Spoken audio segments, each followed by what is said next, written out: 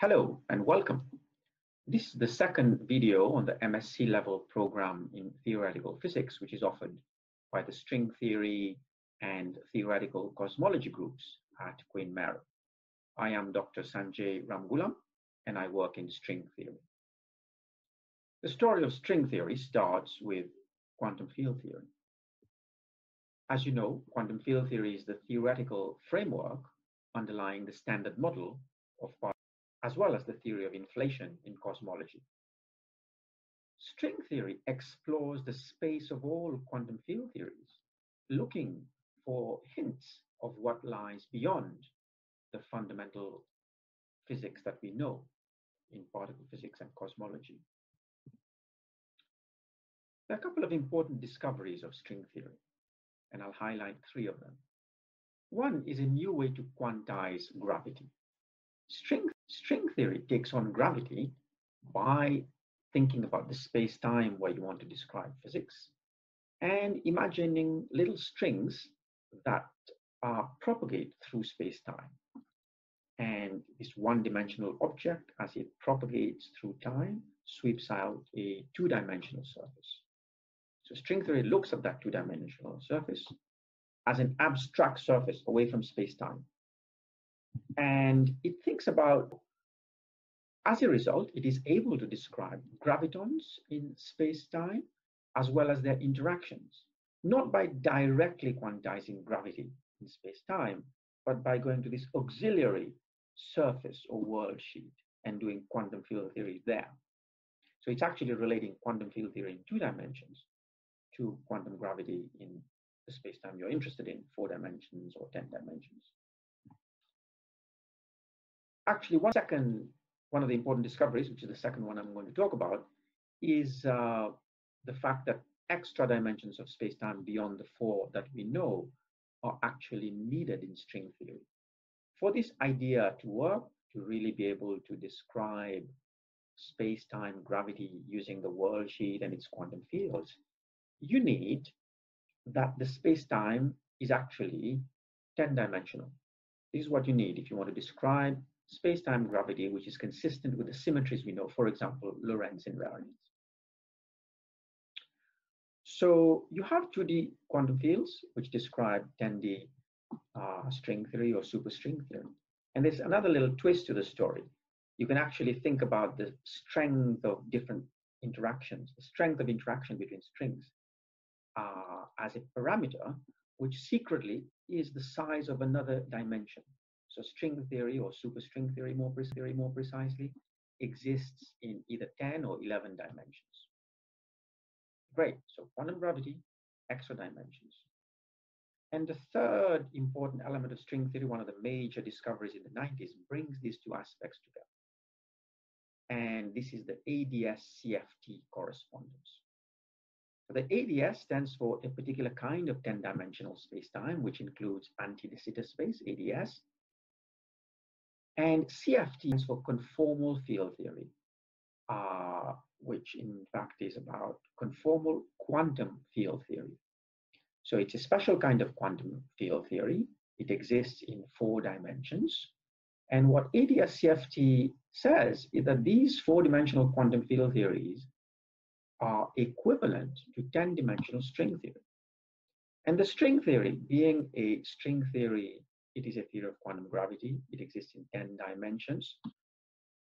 On the other hand, this, this other theory, this dual theory, which is quantum field theory in uh, four dimensions, is a theory with conformal symmetry. This is a kind of symmetry that involves scaling of space-time coordinates. So you have conformal quantum field theory uh, in four dimensions, uh, which in fact does not include gravity. So this 4D theory include gravity in any obvious sense. It's a kind of theory like QCD, the theory that describes quarks and gluons, uh, except it has many, many gluons. So it's called a large N uh, CFT, conformal field theory. So here you, we have a four-dimensional theory with many, many gluons, uh, no explicit gravitons, but it turns out the physics described by this uh, four-dimensional theory is equivalent to 10-dimensional string theory with all its baggage of quantum gravity and exciting stuff of black holes and all that. It comes from this four-dimensional large N quantum field theory. That's the ADS-CFT correspondence. Two different theories that don't look uh, alike at all are actually equivalent. If you look at the physical observables on the two, two sides, they are the same. You can map from one side to the other. The big question in ADS-CFT is how, is how does this four-dimensional quantum field theory know, and how does it hide this 10-dimensional string theory? In other words, how does the 10-dimensional physics emerge from four-dimensional quantum fields? My own work approaches this question using algebras which are associated with symmetries in the problem. One symmetry we already talked about, the scaling symmetry, which is related to conformal symmetry in the quantum field theory, scaling coordinates. Um, so that's an obvious symmetry. When you write down the theory, you see conformal symmetries there. Uh, there is another kind of obvious or manifest symmetry in the problem. Uh, as we said, there are large numbers of gluons in these CFTs. When you have large numbers of gluons, you also have a large symmetry, which is called a gauge symmetry. So you'll have a large gauge symmetry. The thing about gauge symmetries is that it's a funny sort of symmetry. It is actually a redundancy in your variables. Two things related by, to each other by gauge symmetry are actually describing the same physics. So to do physics in gauge theory, it is important to isolate the gauge invariant quantities. So for example, if you have many element fields, scalars, fermions, gauge fields, out of these elementary fields, you can build composite fields. Okay, and these composite fields, you can ask which of these composites are gauge invariant. So there's an interesting combinatorics of gauge invariant um, objects in this uh, CFT. So it turns out when you try to understand the combinatorics of these gauge invariants, there's yet another symmetry that comes up. And it's a hidden sort of symmetry. It's not manifest in the action or whatever. It's a hidden symmetry, and it's a discrete symmetry of permutations, turns out. So we start with uh, conformal field theory with gluons and associated uh, gauge symmetry, which is a continuous symmetry. Actually, it's a symmetry of complex rotations in a large dimension. Uh, that's the kind of gauge symmetry that we have. So it's a continuous symmetry. But when you're looking at the invariance of the symmetry, which are the important physical things, there's this hidden symmetry, which is discrete permutation symmetries. Okay. So uh, it's very interesting because uh, in studying CFTs, what we're finding is that you have the continuous manifest symmetries and you have the hidden symmetries. So there's a duality between manifest and hidden. In fact, these are known mathematical dualities called Schur-Weyl duality.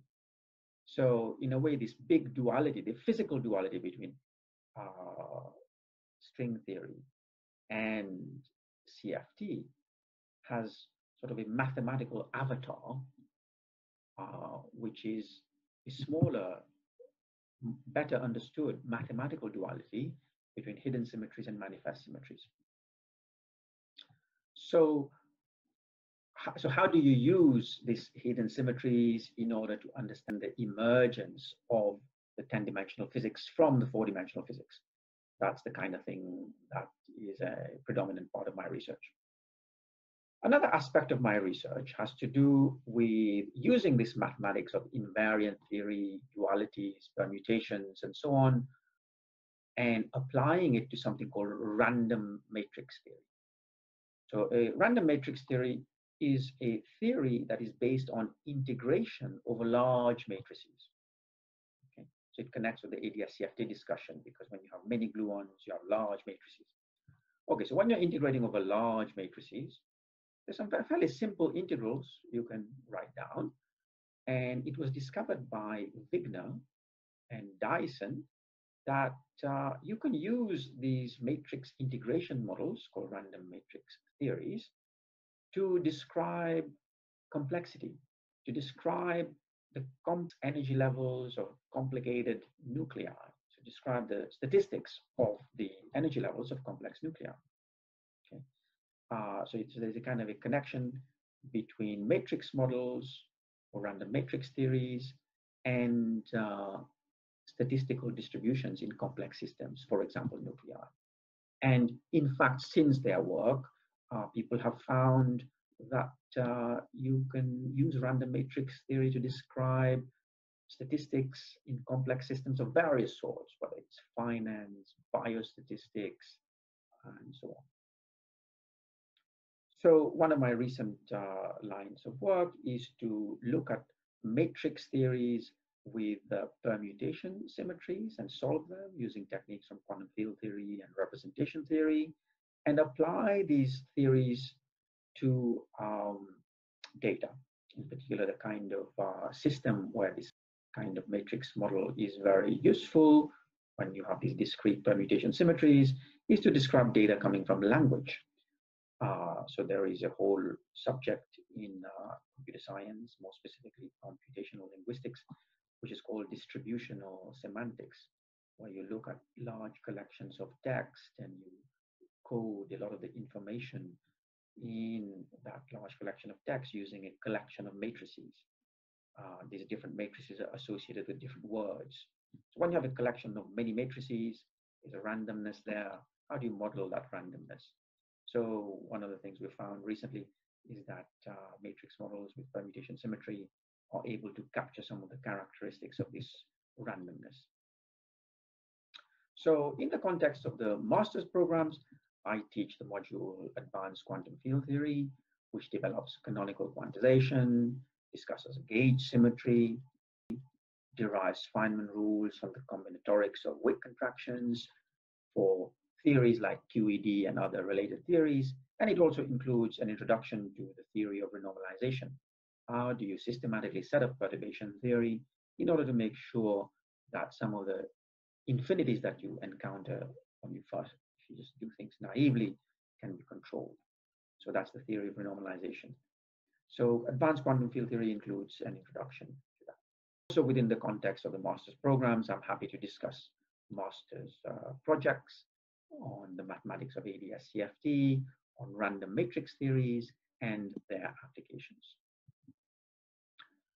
To conclude, I'd just like to say that uh, the string theory group uh, at Queen Mary is very large. There are 15 string theorists. Our research areas span many different corners of string theory, its interfaces with particle physics, cosmology, and mathematics. And uh, doing a master's here is an exciting prospect.